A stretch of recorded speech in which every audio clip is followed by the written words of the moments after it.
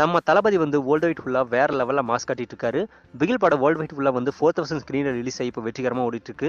பிகில் படம் தளபதி ஃபேன்ஸ் கிட்ட மட்டும் இல்லாமல் ஃபேமிலி ஆடியன்ஸ்க்கு சரி லேடிஸ்க்கு சரி ரொம்ப நல்லாவே ரீச் ஆன ஒரு படமாக தான் அமைஞ்சிருக்கு. அந்த வகையில் தான் ஸ்டோரி பேஸுங்கிறது அட்லி ரொம்ப நல்லாவே கொடுத்துருக்காரு. பொதுவாகவே தளபதி படங்கள் ரிலீஸ் ஆச்சுன்னா ஒரு மாசான ஓப்பனிங்கிறது எப்பவுமே கிடைக்கும். அந்த வகையில் பிகில் படத்துக்கு வந்து ஒரு படி மேலேயே கிடச்சிருக்குன்னு தான் சொல்லணும்.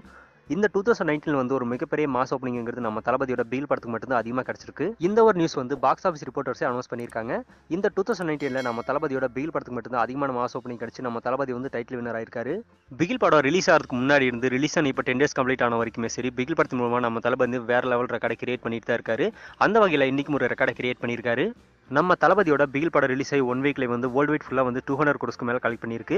இதை பற்றின ஒரு ஆர்டிகல் நியூஸ்ங்கிறது பங்களாதேஷில் இருக்கிற ஒரு நியூஸ் பேப்பரில் வந்து அனௌன்ஸ் பண்ணியிருக்காங்க. இது வரைக்குமே இந்திய சினிமாவில் வந்து ஷாருக்கானோட ஆர்டிகல் மட்டும்தான் பங்களாதேஷ் நியூஸ் பேப்பரில் அனௌன்ஸ் பண்ணுவாங்க. பட் இப்போ நம்ம தளபதியோட பிகில் படம் வந்து இரநூறு கோடிக்கு மேலே கலெக்ட் பண்ணதுனால நம்ம தளபதியோட ஆர்டிகல் வந்து அந்த நியூஸ் பேப்பரில் வந்திருக்கு. பங்களாதேஷ் நியூஸ் பேப்பரில் நம்ம தளபதியோட ஆர்டிகல் வந்து செகண்ட் பிளேஸில் இருக்குது இதுக்கு முன்னாடி ஃபஸ்ட் பிளேஸில் ஷாருக்கான் அவர்கள் இருந்தார். இந்திய அளவில் வந்து நம்ம தளபதி வந்து செகண்ட் பிளேஸ் பிடிச்சிருக்காரு. பட் நம்ம தமிழ்நாட்டு அளவில் பார்த்தோம்னா தளபதி விஜய் அவர்கள் தான் ஃபஸ்ட் பிளேஸ் பிடிச்சிருக்காரு. இது வரைக்குமே தமிழ்நாடு தமிழ்நாட்டில் இருக்கிற எந்த ஒரு ஹீரோட ஆர்டிக்கலுமே வந்து பங்களாதேஷ் நியூஸ்ல வந்ததில்ல. ஃபஸ்ட் டைம் வந்து நம்ம தளபதியோட ஆர்டிக்கல் மட்டும்தான் பங்களாதேஷ் நியூஸ் பேப்பர்ல வந்திருக்கு. ஸோ பிகில் படத்தின் மூலமா நம்ம தளபதி வந்து மேலும் ஒரு நியூ ரெக்கார்டை பங்களாதேஷில் கிரியேட் பண்ணியிருக்காரு.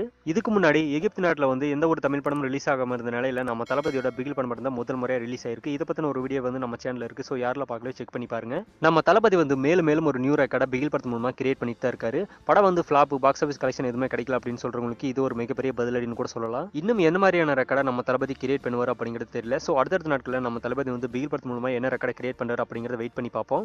வேர்ல்டு வைட் ஃபுல்லா வந்து நம்ம தளபதியோட பிகில் சவுண்ட் தான் கேக்குது. படத்துக்கு தளபதி ஃபேன்ஸ் மட்டும் இல்லாம ஃபேமிலி ஆடியன்ஸும் மிகப்பெரிய சப்போர்ட் கொடுத்துருக்காங்க.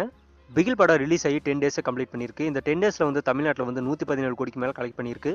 பங்களாதேஷ் நியூஸ் பேப்பரில் நம்ம தமிழ்நாட்டை சேர்ந்த தளபதியோட ஆர்டிகல் வந்து முதல் முறையாக வந்திருக்கு. ஸோ தமிழ்நாட்டில் எந்த ஒரு ஹீரோ பண்ணாத சாதனையை நம்ம தளபதி வந்து பங்களாதேஷில் பண்ணியிருக்காரு. இதை பற்றி உங்களோட கருத்து என்ன அப்படிங்கிறத கீழே கமெண்ட் பாக்ஸில் கமெண்ட் பண்ணுங்க. மேலும் பிகிலன் தளபதி சீர்பர் பற்றின முக்கியமான அப்டேட்டுகள் எல்லாமே மிஸ் பண்ணாமல் தெரிஞ்சுக்கிறதுக்கு உங்கள் நண்பன் சேனலுக்கு சப்ஸ்கிரைப் பண்ணுங்க. மறக்காம பக்கத்தில் இருக்கிற பெல் கணக்கு கிளிக் பண்ணுங்க. இந்த வீடியோ உங்களுக்கு பிடிச்சிருந்தா லைக் பண்ணுங்க ஷேர் பண்ணுங்க.